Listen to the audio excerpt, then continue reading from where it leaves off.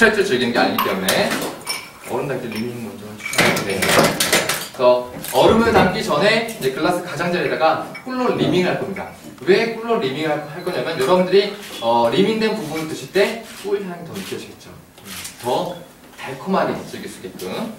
너무 과도하게 붓게 되면은 이게 많이 흘러내리니까 살짝 살짝만 묻히시면 돼요. 아니면 뭐 자기가 마실 부분만 어, 묻히셔도 되죠. 그 다음에 글라스에 굉장히 심플하게 만들 수 있어요. one cup one입니다.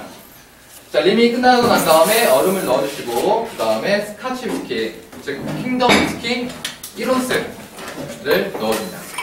자, 저희가 사용하는 이 도구는요, 바텐더가 사용하는 계량컵인데요. 여러분들이 가진 데서 계량컵이 없죠? 그럴 경우에는 소주잔, 소주잔 한 8부 정도만 채우시면 돼요. 그게 딱 1온스 양과 거의 비슷합니다.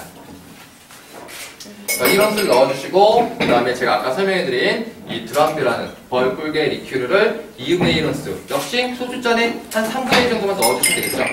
근데 이건 기호에 따라 달라요. 어, 스탠다드한 레시피는 이 레시피를 사용하지만, 이 제조 방법을 사용하지만, 내가 강한 걸 싫어해. 그러면은, 어, 위스키를 더 적게 넣어도 되고요. 아니야, 나는 좀, 어, strong한 걸 좋아해. 그러면은, 위스키를 더 많이 넣으셔도 됩니다. 자, 이 상태에서 가볍게 저어서 제공하면은 끝입니다. 기존에 있는 Rusty Nail보다는 꿀을 rimming이기 때문에 훨씬 더 달콤하게 어, 지- 즐길 수 있는 칵테일이죠.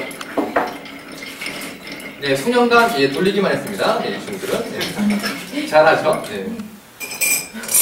자, 그래서 예, 이 칵테일을 예, 시연해 보실 분들은 시연해 보셔도